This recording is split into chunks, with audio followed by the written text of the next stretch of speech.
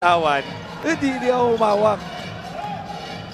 Lucero challenges Ooh. De La Paz and gets the hoop in the arm. What a shot right there by Deo Lucero, and he is loving it. Oh, he hung in the air, took the contact. Look at that finish. Challenging the big man, Tristan De La Paz, that crossover, absorbing the contact. Really wanted to get the end one, drew the foul on, but Pasig able to control the driver's seat, in the driver's seat.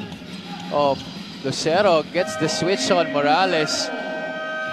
And right away takes advantage itong si Deo Lucero getting his sixth point of the game.